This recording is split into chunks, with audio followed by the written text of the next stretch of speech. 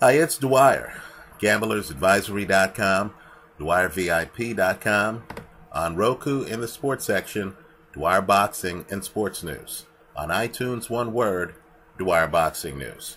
Remember, the opinion you should follow should be your own. Just consider this video to be a second opinion from a complete stranger online. You know, Gennady Golovkin is really a historical figure. He's a moment in time right now. Right? Understand the entire time I've watched boxing, I can only name two other times where you had a guy who had a big punch like this, and people really worried about the health of the opponents facing him. Right? The feeling is that Golovkin hits so much harder than anyone else that the guys in the ring with him, professional fighters who do this for a living, are somehow at risk. Understand there have been other big punchers in the sport, but some really weren't well known enough in their prime to conjure up this kind of anticipation, right? Julian Jackson, Edwin Valero, they really weren't as popular, as known as Gennady Golovkin is right now. Also, for some of the big punchers in history, they weren't on the world stage, right? Golovkin is doing this while he's middleweight champion. He's been middleweight champion so long that now they're throwing around names like Marvin Hagler in terms of the number of defenses he's had. Right? Understand this is truly astonishing stuff. And unlike, let's say, uh, Julio Cesar Chavez, who would chop you down in the ring, big puncher, would wear out your rib cage, would be up on your chest. Golovkin is different. He's of the one punch variety. Right? You look at Golovkin fights and guys are getting hit in the ribs or in the case of Marco Antonio Rubio, literally on the top of the head. And guys are going down. Right? It's not that Golovkin's throwing great combinations. It's that his punch is that heavy. Guys can't withstand it. The only two fighters who come to mind who've been in the public light with punches like this, reputations of other guys being on the clock from the opening bell are from the early 70s Big George Foreman, at least that I'm aware of, right?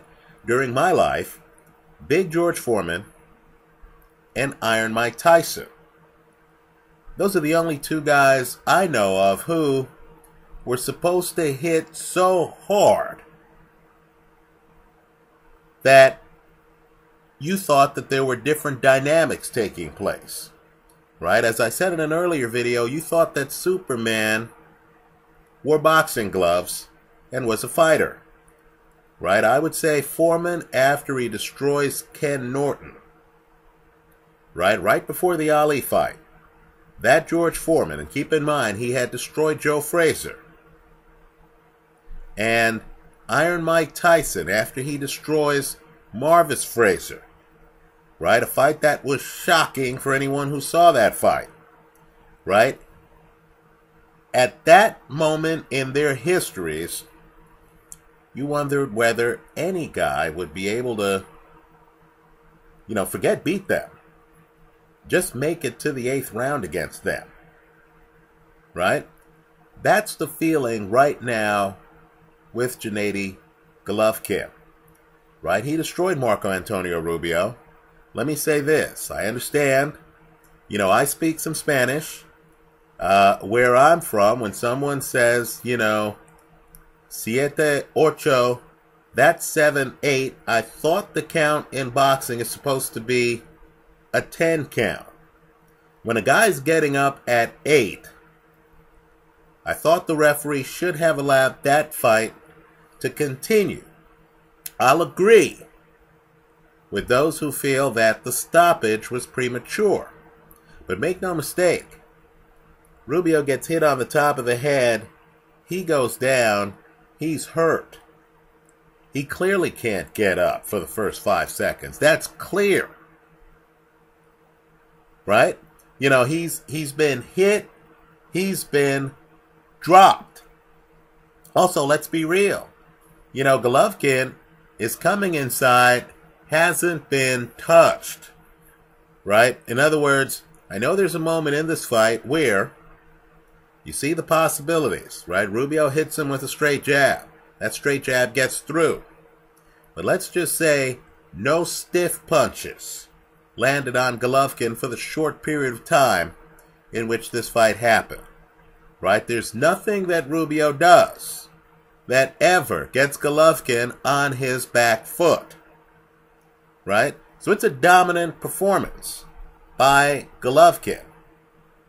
Let me just say, though, that as it was with Foreman and with Tyson, right, it's an optical illusion here.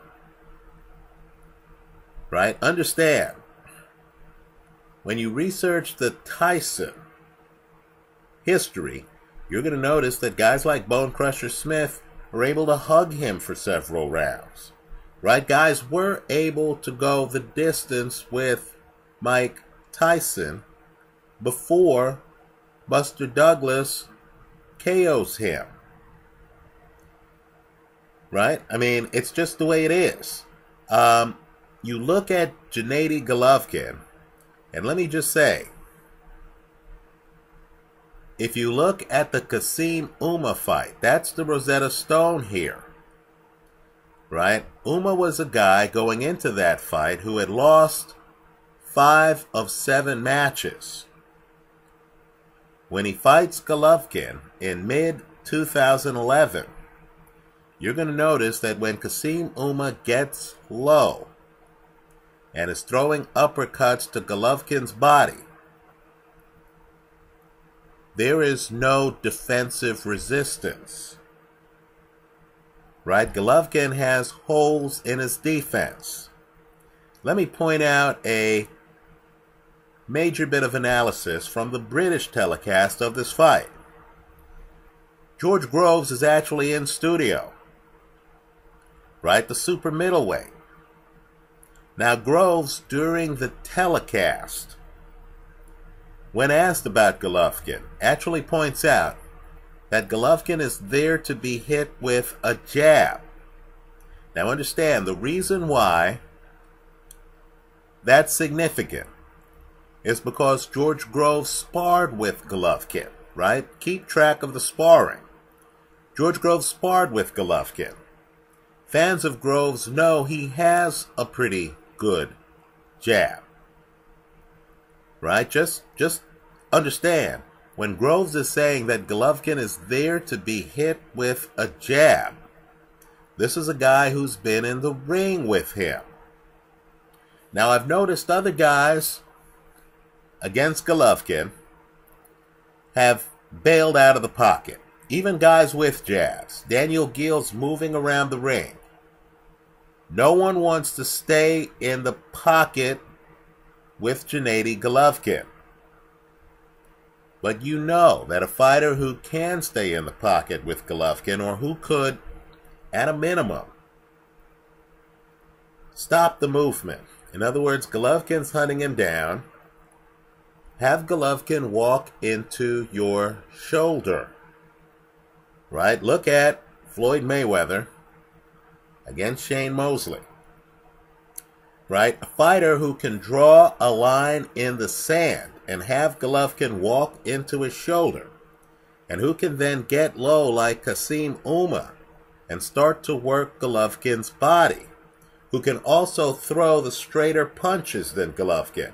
What I want people to do and looking at this Rubio tape, and it's not that long, is to count the number of straight punches thrown by Golovkin. You'll actually notice as you look at the film that Golovkin is throwing punches from weird angles. He's not a guy who throws straight punches. right? That opens up the possibility for a jabber like Groves, but he's going to have to be prepared to make a commitment and stay in the pocket, right? Or, let's say, a great counter puncher who can land crisp counters, who can stand his ground, and who could also get lower than Golovkin, right, as Ouma did, and work his body, right? Frankly, I know it's heresy here. I think Floyd Mayweather beats Gennady Golovkin, right? Golovkin's a big puncher, but understand, I think the genius of Gennady Golovkin is in terms of his timing on how he stalks you. I've called him a cautious stalker. You're going to notice that he's not really in front of Rubio, but then suddenly there he is. Right? He seems to wait for little gaps in the action, then he gets up on you. He's the kind of heavy handed guy who can throw punches at weird angles and really hurt you. But understand, that's what clinching is for. Let me throw another name in the mix. I think Bernard Hopkins beats Gennady Golovkin. Right? I think a guy who can clinch Golovkin, time Golovkin, go to his body, throw straight punches, can take him out of his game. Right? Understand these big punchers. Right? Might not have a plan B. George Foreman was a mid range hooker with a great jab. Right? Pretty rough combination. What I want people to do is revisit the Rumble in the Jungle. I know the popular thought is that Ali rope a dopes Foreman and Foreman punches himself out. But what I want you to do is to actually score the fight. You're actually going to notice that with his back up against the ropes before the knockout, Ali's winning several of those rounds. Right? He's hitting Foreman with counters as Foreman's coming inside. What I want people to do is to look at the Mike Tyson Buster Douglas fight you're going to notice that it's not just Douglas's jab. Douglas is hitting Tyson on the way in with uppercuts. Right? If you're too front foot heavy, you're vulnerable to counters. Now, with Gennady Golovkin, let me just say this. He's not really trying to win rounds on the scorecard. He's there trying to knock you out. The punches are a little bit wide. As George Groves pointed out on the British telecast, his defense isn't all that. Now, let me say something to the gamblers. The casino here, and I'm focusing on the Rubio side of the line right? People here online have pointed out that Gennady Golovkin on his side of the line was something like a 100 to 1 favorite. I'm not kidding, at some casinos, right? It's foolish betting on Golovkin, right? Even Golovkin by KO was a minus 1400. This was against a fighter who had gone the distance with Julio Cesar Chavez Jr who had beaten David Lemieux. Right? The lines are so out of whack for Golovkin fights that they're pricing him for perfection. Understand, when you're getting 16 to 1 odds, and I know it didn't work out here, but if you hit on 16 to 1 odds in any of, let's say, 15 fights, you come out ahead. Right? Dare I say it, Golovkin, from a gambling perspective, is overvalued. He's now talking about lifting his game. And he wants to fight the toughest in boxing. Right? Andre Ward's already said he wants to fight Gennady Golovkin. I don't think that fight happens because I think Golovkin understands Ward can smother him. In other words, as Golovkin comes forward and is throwing bombs, if he doesn't catch Andre, and if Andre holds his ground, Andre's going to be throwing withering punches to the body that, quite frankly, would slow down and, in my opinion, ultimately stop Golovkin. Look how troubled he is over 10 rounds against Kassim Ouma. Understand the size gap. Right? Golovkin made weight at 160. Quite frankly, Golovkin isn't that big for a middleweight. He's not. Right? Guys like Ward are actually super middleweights. A fight that would have been excellent given that Ouma was a southpaw, would have been a fight between Golovkin and Sergio Martinez, who's also a southpaw and who's mobile, before Sergio's knee problems. Right? Because obviously movement against Golovkin is paramount. Right? Getting him to change his rhythm, confusing him on rhythm, as Martinez does by bouncing, would have been intriguing. Let me say this.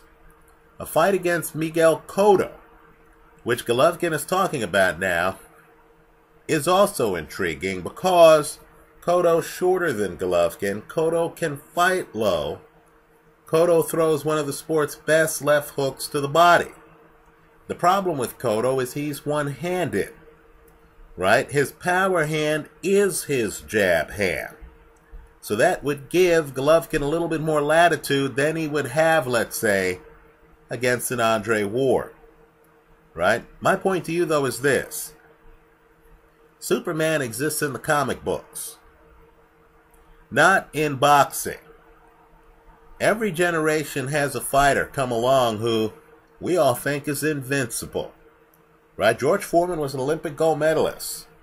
Right? He had run through some excellent fighters right? Frazier, Norton, both of those guys blown out early. Both of those guys down multiple times, right? Ken Norton tried to get off the canvas, didn't have his legs, literally, was holding the ring ropes to get back on his feet against George Foreman. Right? What I want people to do is to look at the interview. It's one of the best in boxing history. After the Foreman Norton fight, Howard Cosell interviews a guy who was ringside, Muhammad Ali.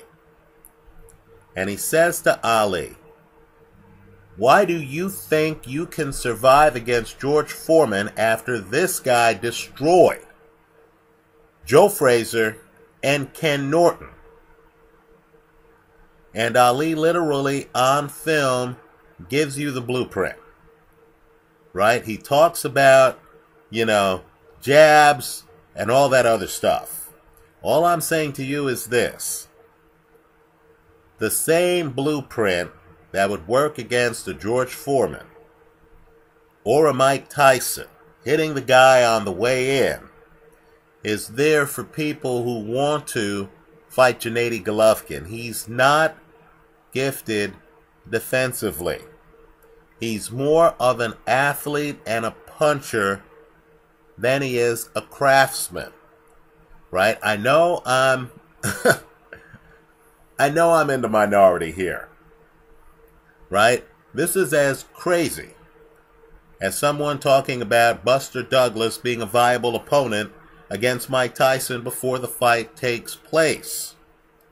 Right? But just understand there are fighters out there, Miguel Cotto, for example, who would disrupt Golovkin's rhythm, be hard to find in the ring, and who would give Golovkin much less to hit because Cotto is smaller, can bend, and can move than opponents like.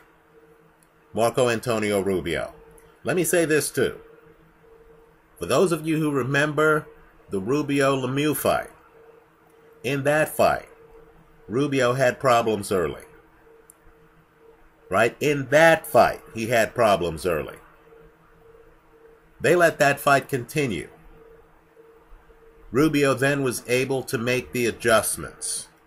Once you figure out the Golovkin puzzle and have the time to make adjustments, things change. I want you to look at the count here. I'm sure the ref acted, you know, in good faith here. But look at the count, right? When the ref says seis, siete, ocho, isn't Rubio getting off the canvas? Do you ever hear the ref say diez? Right? It would have been intriguing to have seen if Rubio could have recovered from the knockdown. Because Rubio is adaptive reactive. Right? This fight, who knows what would have happened if the ref would have let Rubio continue. I'm not saying Rubio was winning the fight. I'm not saying up until that point, Rubio was doing a lot of stuff where you thought, oh, oh, you know, he could win by knockout. Right? I'm not even saying Rubio wasn't badly hurt on the canvas. But this is boxing. Guys get knocked down. As I like to say, I once saw Nigel Benn get knocked out the ring. Get back in the ring. Jack Dempsey, get back in the ring and win a fight. Right? Here, Rubio should have had the opportunity here to continue at least past the first knockdown. Right? We haven't seen a vet other than Ouma with time to actually make the adjustments against Golovkin. And as I've said, if you look at that Ouma fight, look what happens when Ouma is throwing shots to Golovkin's body. As you look at the film, do you feel comfortable with Golovkin's defense? Understand, too, Ouma, by the time he faces Golovkin, is no longer Kassim Ouma. Right? He had lost five of his previous seven fights. Right? If Golovkin is vulnerable to the body, aren't you looking at a situation that could end in a car crash? Right? Foreman doesn't beat the count, at least according to the ref. I know it's debatable. Doesn't beat the count against Ali. Right? Mike Tyson ends up on the canvas reaching for his mouthpiece with an eye that looked like a baseball right? If a fighter has holes in his game, and if he fights a prepared opponent, I'm telling you, we could go from the penthouse to the highlight reel in just a few punches. Let me hear from you. Leave your comments for me here online. Visit us at gamblersadvisory.com. And let me just say, the casinos are more than compensating you for the risk. You got 16 to 1 on Marco Antonio Rubio.